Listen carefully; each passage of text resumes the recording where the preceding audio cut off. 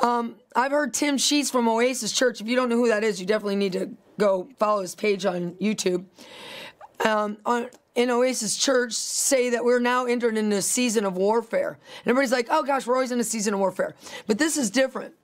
The angel gate is open, according to Pastor Sheets, Tim Sheets, and angels are here and they're here in numbers like we've never seen before. They're here to help us fight the giants, and they're here to empower us to walk through this shaking that's hit the earth because there's a shaking that's coming.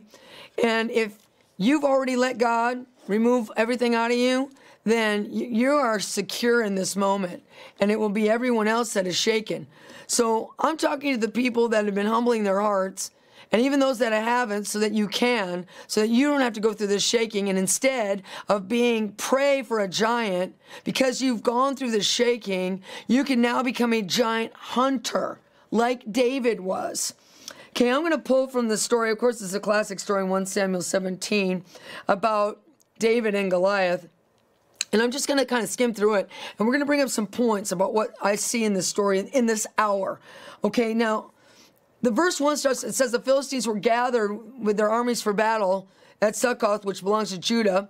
And verse 2 it says, Saul and the men of Israel were camped in the valley of Elah. And they drew up in battle array against the Philistines. Okay, now the valley of Elah, if you look up Elah, it means rest. Do you understand this? You are fighting giants right now you're fighting giants right now and you're and you're a mess. Your life is in complete turmoil. You're under extreme pressure. It's like you're in a pressure cooker because there's probably not just one giant. There's multiple giants that you are engaging right now. And it's putting so much pressure on you because it's coming from all sides that you're thinking this is not restful at all. I've never been in a pressure cooker like this or face this big a giant this big of a of a influx of demonic uh, uh, activity in my life. Well, guess what? Once you take your stand, turn around and begin and begin to pursue that giant and go after it, that valley will become the valley of Elah of rest. You're going to become the giant slayer, the giant hunter, and it will bring rest into your life. But many of us are not engaging. And this is the reason why we continue to become the hunted instead of the hunter. Then it says, uh, verse 3 says, the Philistines stood on one side of the mountain, and on the other side stood the Israels, Israelites, and then that valley of Elah is in between them. And then here's a description of the giant. You've all heard it, but this is how you know you're fighting a giant because the thing you're going against, or many things, is big and it's multiplied. It says, And a giant went out from the camp of the Philistines named Goliath of Gath, whose height was six cubits and a span almost ten feet. He had a bronze helmet on his head. He wore a coat of mail, and the coat cost it, the coat weighed 5,000 shekels of bronze. He had bronze shin armor on his legs and, bron- and a bronze javelin in his shoulders. And the shaft of his spear was like a weaver's beam. His spearhead weighed 600 shekels of iron, and a shield bearer went before him. Okay, this is the description of the giant. You know you're fighting a giant when it's something big or multiple big things coming against you, but also because it's a new level of demonic strategy against you. See, the metal, the armor that Goliath had in that time was cutting edge. It was the latest high end metal technology. Nobody had like a coat of mail that weighed 5,000 shekels of bronze. Okay, nobody had a huge bronze helmet like Goliath had. This is technology that the Israelites had never seen before. I mean, he has these bronze shins armor on his legs and a bronze javelin across his shoulder. Okay, the spearhead alone was 600 shekels of iron. That's probably, I can't even like stretch my arms wide enough to indicate how big just the spearhead was. That's not even the shaft. Just the spearhead. Nobody had seen anything like it. How many times have you said lately, I've never seen anything like this? This is crazy. Well, then you're fighting giants because a new level of technology, of demonic technology, has been released against us. I mean, even the spear itself, the actual handle of the spear, was like a weaver's beam. That is big, okay, in, in diameter and in length. Okay, so if you're if you've said that to yourself, like, wow, I've never seen anything like this, I've never been through anything like this, then you're fighting giants and you need to become a giant hunter. Okay, now it says this, verse 8.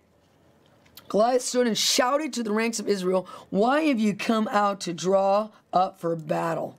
Am I not a Philistine, and are you not servants of Saul? Choose a man for yourselves and let him come down to me. If he's able to fight me and kill me, this is verse 9, then we will be your servants. But if I prevail against him and kill him, then you shall be our servants and you shall serve us. Okay, first of all, so he's basically egging it on, saying, You guys are puny.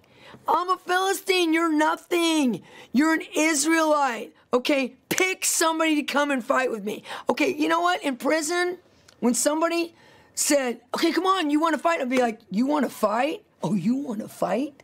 Oh, you're going to fight? We're going to fight. We're going to fight. Okay? You got to stop backing down from the fight and doing nothing but going, oh my God, this is so painful. Oh my God, I don't think I can handle this. Oh my God, what's going to happen next? Oh my God, I'm overwhelmed. Stop. I'm sorry. I'm just going to say it. Stop being wimpy because if you did that in prison, you'd get your butt kicked. You need to stand up and you need to say, you want to fight? Let's fight. Let's fight. Okay? You stop Stop submitting to the warfare by complaining about it, worrying about it, running from it, being oppressed by it, getting depressed by it. You got to stand up. You're being challenged. You're being challenged. Accept the challenge and become a giant hunter. Now, notice what he says. We're going to put up verse 9 again. Ready? Says this. This is Goliath talking smack. That's what I call it. Says, if he's able to fight with me and kill me, then we will be your servants. But if I prevail against him and kill him, then you shall be our servants and serve us. Now I want you to think about this precept. This is the strong man precept. What he's basically saying is, I'm a strong man, and if you come and fight against me, then all my guys underneath me, all the rest of the Philistines in this army will submit to you. That's what that's a strong man precept. That's what Jesus talked about in Matthew 12, 29. And we're going to read it. It says, How can a person go into a strong man's house and carry off his goods, the entire equipment of his house, without first binding the strong man? Then indeed he may plunder his house. See, whether Goliath knew it or not at the time, he was setting himself up to see that happen to himself and the Philistines. He was the strong man. And he is basically saying, look, pick a guy.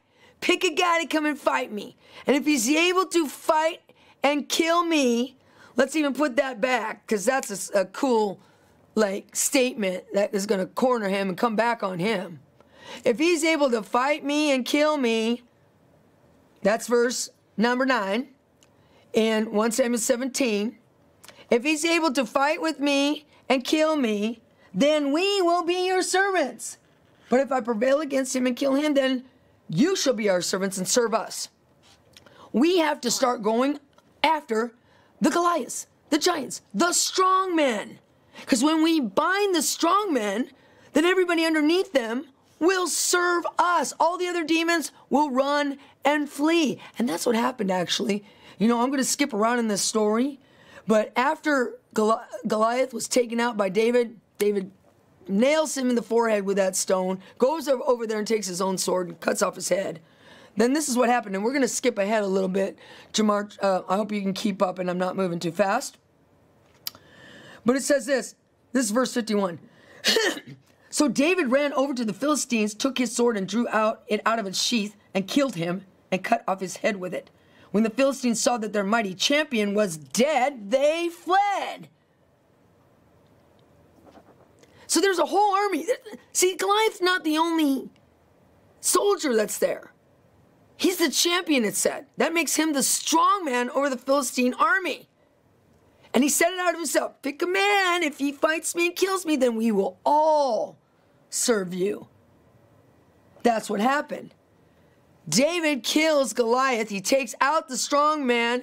When you bind the strong man, then you can thoroughly ransack his house.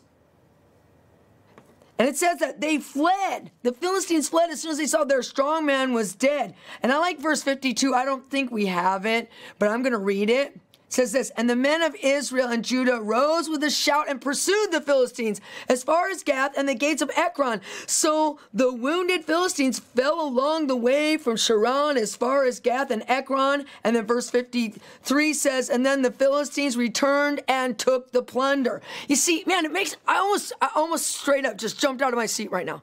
Seriously, I felt like I just jumping out of my seat and preaching. Because you see, it just takes one giant killer to raise up and accept the challenge. You want to fight? Come on, let's fight. Okay? To raise up and take the challenge and take out the giant, cut off his head, and then guess what? The rest of his demons underneath him will flee, and the church will be able to rise up and do what the Israelites do. They pursued. They pursued that army, slaying them as they went, and then they came back, and it says that they even came back and took the plunder. And plundered, verse 53 says they plundered their tents. You could start a revolution by accepting the challenge and becoming a giant hunter. You could start a movement once you cut off that giant's head, then the rest of the, the demonic spirits in his house underneath him, that's when you can plunder them. And the church can rise up and go after them, and they can plunder the tents and get all the booty. Man. But it takes a giant killer to start the momentum. It takes a giant hunter to start that momentum. Can you say hallelujah?